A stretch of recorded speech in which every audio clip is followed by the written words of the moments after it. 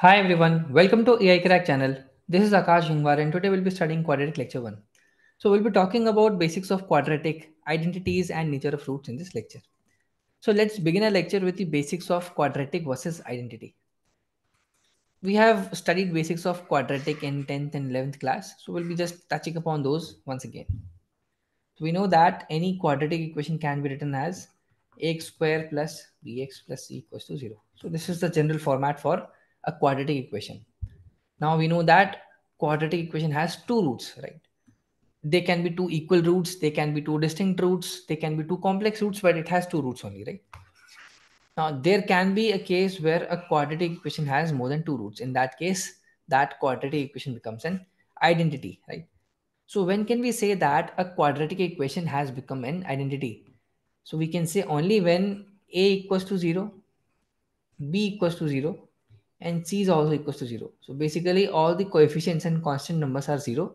In that case, we can say that the quadratic equation has become an identity. So that means equation can be written as 0x square plus 0x plus 0 equals to 0. So that means everything is 0. So it's just a formal way of writing it.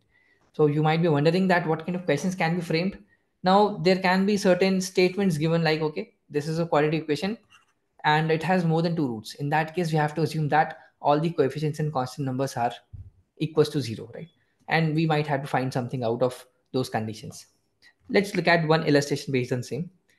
Find the value of a for which the following equation has more than two roots. So just like I mentioned earlier, it can be given in quadratic form, but with a statement that it has more than two roots. So that basically means is it's an identity, right? So considering that this is an identity, so this coefficient is zero, this is also 0 and this is also 0 right? So we have a square minus 5a plus 6 equals to 0 that means a minus 3 a minus 2 equals to 0 that means a is 3 or a equals to 2 we have got these two values. Now if we apply uh, conditions of identity over here that means a square minus 3a plus 2 equals to 0 that would mean a minus 2 a minus 1 equals to 0 right? So a equals to 1 or a equals to 2 okay? Now for this constant number 2a minus a square equals to 0 that means a times 2 minus a equals to 0 that would mean a equals to 0 or a equals to 2 now we can see that a equals to 2 is common in all three equations right so that basically means a equals to 2 should be the answer. Why? I can't a equals to 3 be answer? Because when we put 3 value over here, it would become 0, but this won't become 0. This won't become 0, this won't become 0. So we have to choose a value of a such that these coefficients and this constant number all become 0 simultaneously, right? That is the value a equals to 2 over here, right? Now let us talk about basics of quadratic equation. So the first one is discriminant.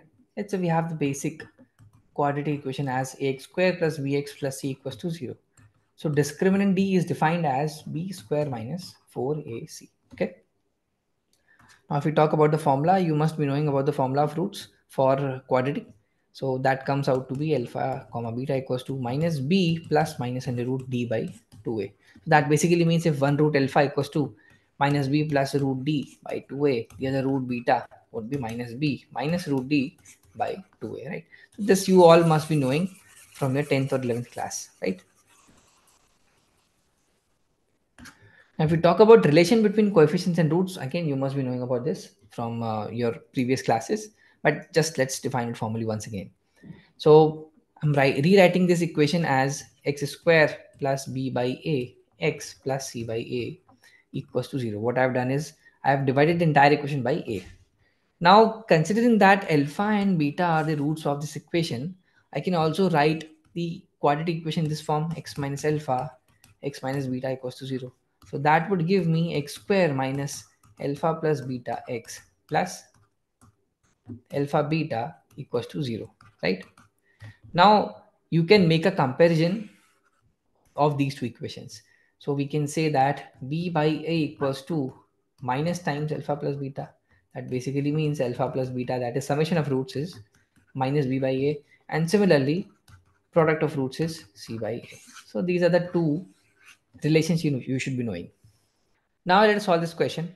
Find k in the equation 5x square minus kx plus 1 equals to 0 such that the difference between roots of the equation is unity. And the most important phrase over here is difference between roots is unity, right? So what do we mean by that? Let's say this equation has roots alpha and beta, right? So that means alpha minus beta equals to 1 or beta minus alpha equals to 1. Cannot say if it is alpha minus beta or beta minus alpha. It can be any any of these, right? So that means modulus of alpha minus beta is 1. Okay, we can simply say that. Now let's write the other equations as well. We have alpha plus beta equals to k by 5 by minus b by a, right? And alpha beta equals to c by a, that is 1 by 5 over here. Now we have to employ all these three equations over here to find out the value of k. So let's try to find out relation between alpha plus beta and alpha minus beta, right? So we know that alpha plus beta whole square equals to alpha square plus beta square plus 2 alpha beta, right? And if I subtract minus 4 alpha beta on both sides, right? Alpha plus beta whole square minus 4 alpha beta equals to alpha square plus beta square minus 2 alpha beta, right? Because, because we have subtracted 4 alpha beta from here? Now this becomes alpha plus beta whole square becomes k square by 25. Now 4 alpha beta becomes 4 by 5 or you can say 20 by 25, right? And this becomes alpha minus beta whole square. That is nothing but 1. Okay. Now you can simply uh, cross multiply over here. So this becomes k square minus 20 equals to 25. So this becomes k square equals to 45. k equals to plus minus root 45. Okay. Now let's solve this question. If alpha is not equals to beta, but alpha square equals to 5 alpha minus 3, beta square equals to 5 beta minus 3, then the equation whose roots are alpha by beta and beta by alpha is. Okay. Now the given conditions are alpha square minus 5 alpha plus 3 equals to 0, beta square minus 5 beta plus 3 equals to 0, right? Now we can simply say that alpha and beta are the roots of x square minus 5x plus 3. Right? We can simply say that based on these conditions. Now, we have to find out the equation whose roots are alpha and alpha by beta and beta by alpha. So the basic format of the equation would be x minus alpha by beta multiplied by x minus beta by alpha equals to 0. This would be the basic format. That means it would become x square minus alpha by beta plus beta by alpha x plus product of these that would be 1 equals to 0 so we have to find out the value of this one to find out the equation whose roots are alpha by beta and beta by alpha right? Now based on this we know that alpha plus beta equals to 5 and alpha beta equals to 3 right? So if we want to write this one alpha by beta plus beta by alpha that would be alpha square plus beta square divided by alpha beta right now alpha square plus beta square is nothing but alpha plus beta whole square minus 2 alpha beta divided by alpha beta. Now alpha plus beta is 25, uh, alpha plus beta whole square is 25, minus 2 alpha beta is 6, divided by alpha beta is 3. So this comes out to be 19 by 3. So what we have got over here, x square minus 19 by 3 x plus 1. Let's take the LCM we'll be getting 3x square minus 19x plus 3 equals to 0. So this is the final equation, right?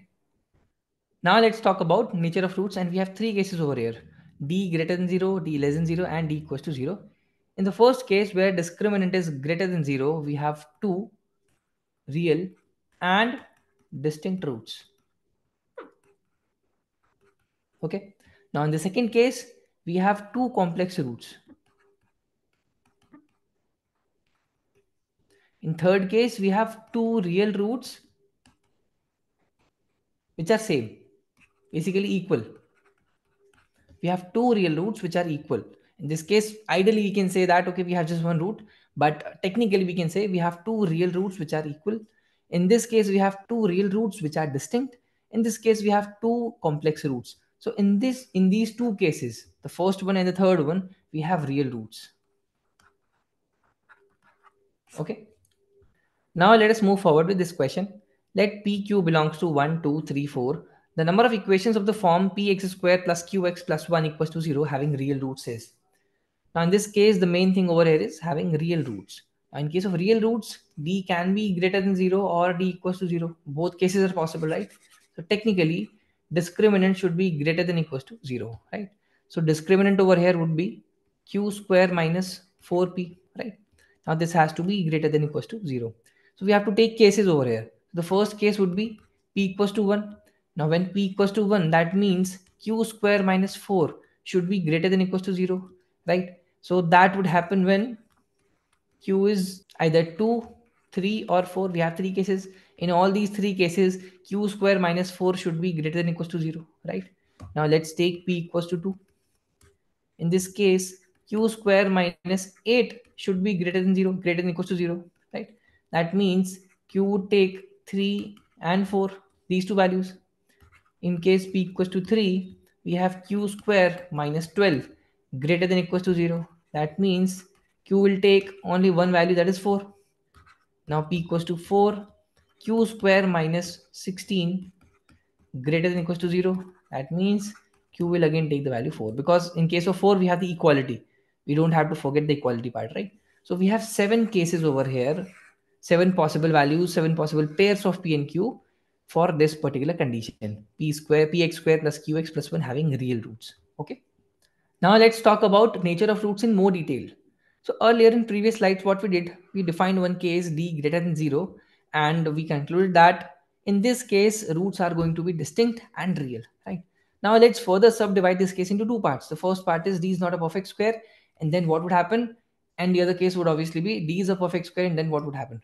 Let's take one example, x square plus 4x plus 2 equals to 0. In this case, d is 16 minus 8 and that is not a perfect square, right? This is not a perfect square. So the first root would be minus 4 plus root 8 divided by 2. And second root beta would be minus 4 minus root 8 divided by 2.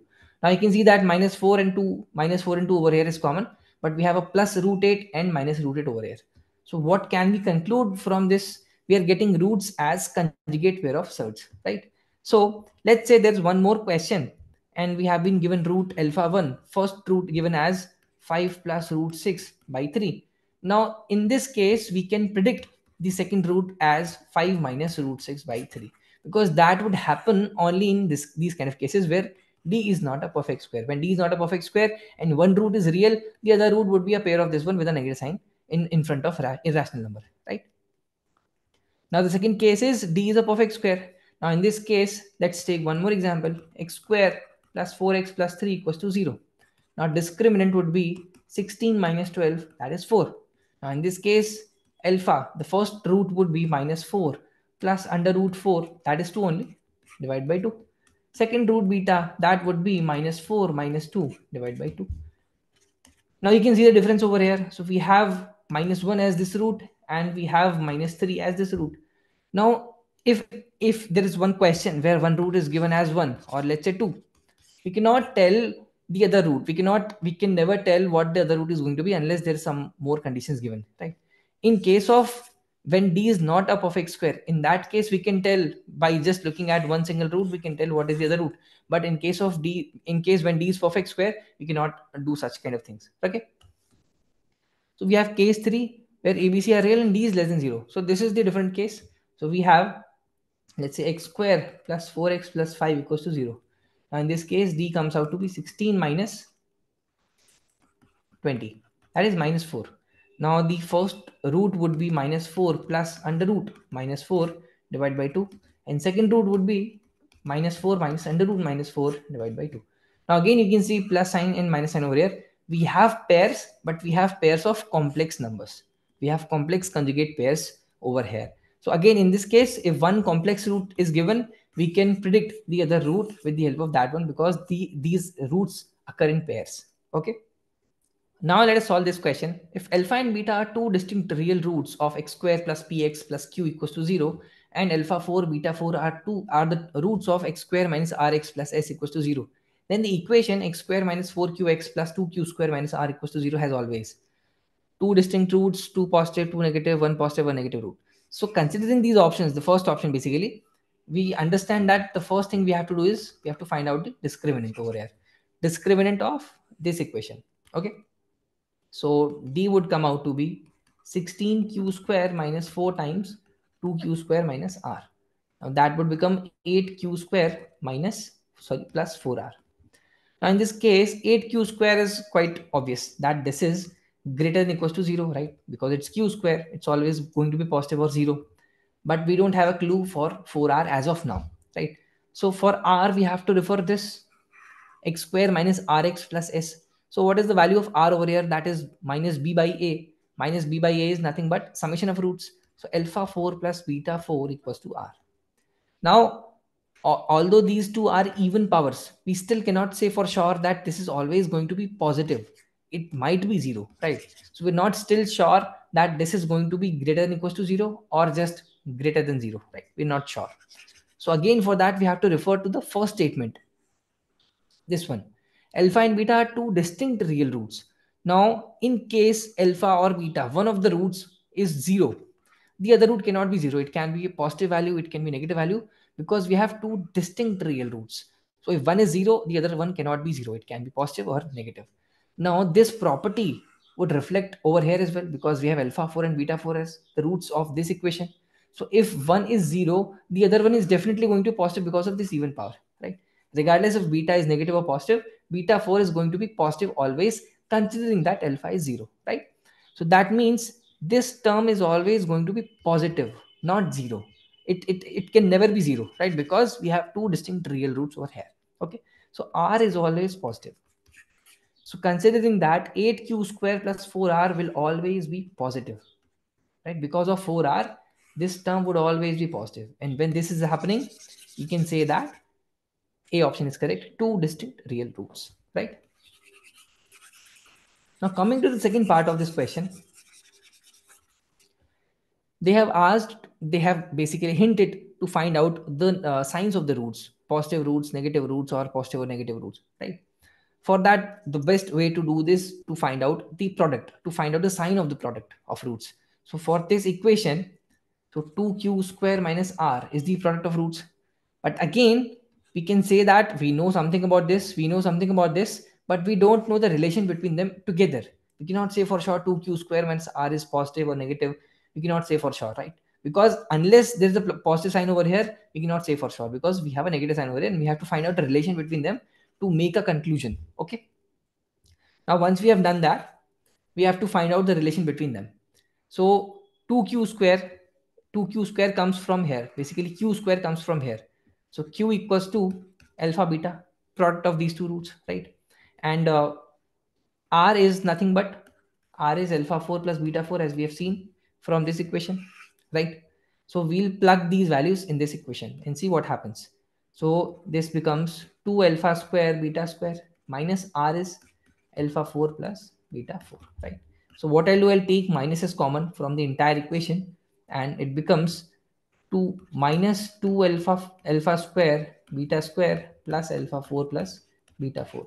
Now this, if you look at it carefully, this becomes alpha square plus beta square whole square and this is always going to be positive why because again we have alpha and beta two distinct numbers two distinct real roots. So if one is zero other one cannot be zero. And the whole square of that would always be positive. So with a negative sign this entire 2q square minus r would always going to be negative right? And if this is negative that can only happen is when one root is positive and one root is negative. One root is positive and one root is negative. So d is the correct answer right? So this was one of the most toughest question you can get in PGDBA in terms of quadratic equations. And uh, mostly you'll get something below that, below this kind of difficulty, right? So let's meet in the next lecture to study more about quadratic equations and thanks for watching.